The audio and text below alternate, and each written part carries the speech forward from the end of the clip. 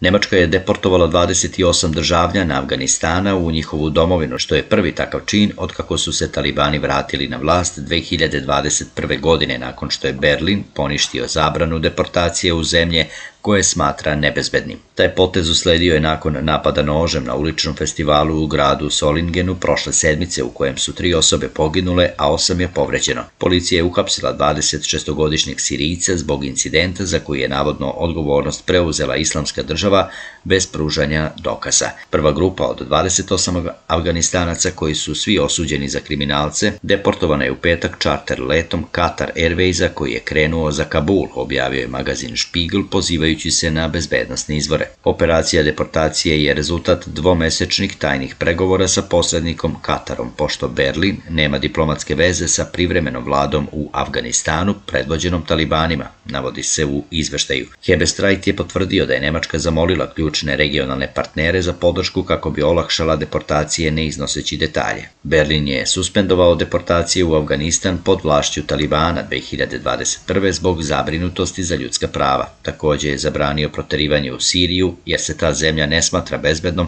zbog dugotrajnog građanskog rata.